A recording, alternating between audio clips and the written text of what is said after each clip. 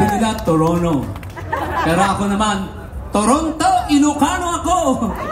Right? Naimbag nga, manamiyami na po. Sa mga kapampangan, maayap pa bengi? Maayap, maayap ah? Abak. Maayong gabi, ay gabi na pa. Maayong hapon kaninyong tanan. Sino pa yung mga Ilocano dito? Pa kayo. Nagkita, sino kita eh. Adayot dita. Adayot dita. Sa sino pa yung mga Bisaya? Wow. Sino pa yung mga Kapampangan? Mga Pangasinan? Waray. Ayun, bago po, po kayo i-tour sa Pilipinas, gusto ko po kayong samahan i-tour sa Pilipinas in 5 minutes. Handa na ba kayo? Yes!